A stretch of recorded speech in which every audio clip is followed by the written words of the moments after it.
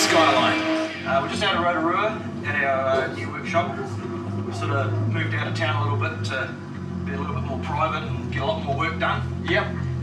And how is the business going? It's going well, mate. We've got uh, four cars here at the moment from England, um, all with different types of builds, drag cars, street cars, show car, um, but all based along the, the lines of uh, high power street cars slash drag car. Yeah. You may think we've gone a little bit crazy here on Jim Beam New Zealand Performance Car with Skylines, but we can't get enough of them. This one right here is the best one in the world. Skyline R34 GTR built by Rips in Rotorua. This thing is a beast. Uh, well, I can't actually tell you whose it is, but um, it's a very well known uh, rugby player from England, and he wanted something very special that nobody else has got, so that he could definitely have a one of a kind. The friends have got Porsches and Ferraris and all that sort of thing, and he basically wants something to go home and kick their ass. All I do is Skylines, 99% of it's RB30s, and along the theme of something different and the, the quality that he wanted.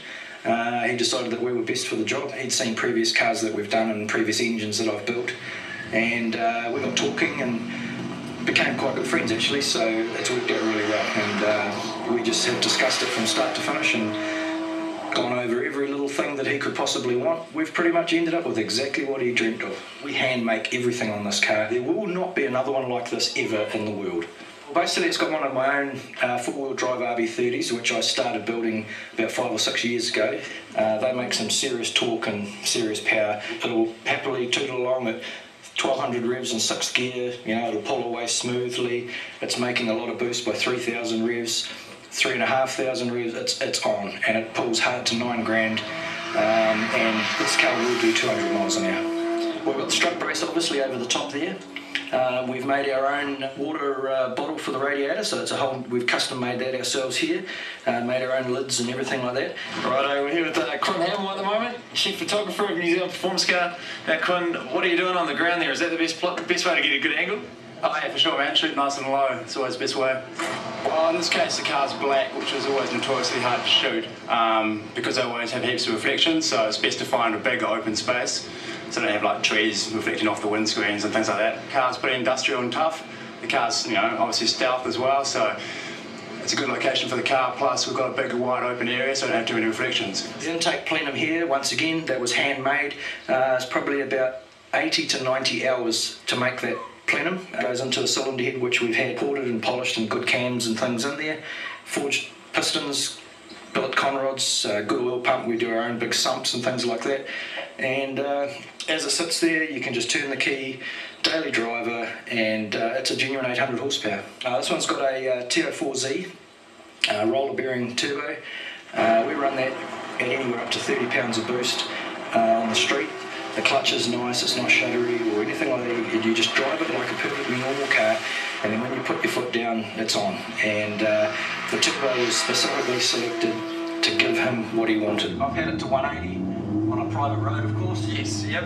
And uh, it was still pulling fine at 180. My thing's drag racing, what I Yeah. I just like the feel of the acceleration. I'm not so worried about real high speed.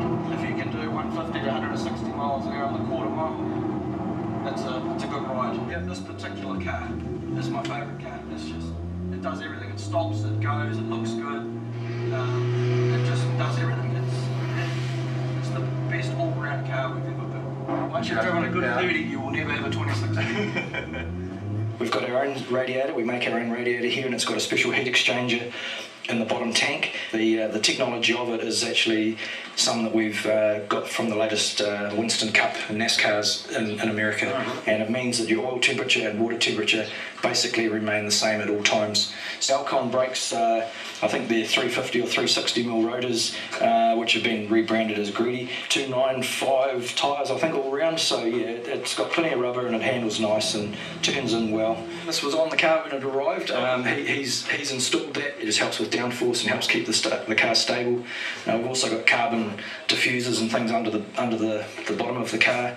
Uh, once again, all to do with high speed stability. We do a lot of fuel systems, but this one had to be had to be different and had to be black. And the customer's not interested in big stereos and freaky upholstery or anything like that. So we decided that we'd just keep it nice and tidy and simple. Got a Rips exhaust manifold that's all handmade here, stainless steel. People low mount turbos, people high mount turbos. We're going to mid mount the turbo. so we've mounted it mid mid engine. Um, we also wanted to show off our uh, fabricating skills. So by having an exhaust manifold like that, it's something different, it's functional, it's reliable. Um, no, I like to just sit back with a beer when I'm finished and just be proud of what um, what we've made. This car is 800 plus horsepower. We went for a drive just before. Uh, my guts completely went the other way. This thing is a beast, and uh, I find it quite ironic as well that it's all black. What's up with that, Robbie? Even though he may be from England, uh, the best colour is probably always going to be black, and, and it, it keeps uh, keeps in with the theme of the stealth. And personally, I like the black skylines. It's uh, it's real nice. You might be able to pass this on to your uh, infamous rugby player, Yeah. and um, if he's ripping up Twickenham doing a few doughies, that might help. Yeah, that'll be the way. We'll, we'll make sure it gets that, and uh, we might be able to get a couple of girls out there to clean it for him, no doubt. The best way to view these cars is not to break in, because you'll get eaten alive. So get onto the website ripslimited.com to see more of these skylines.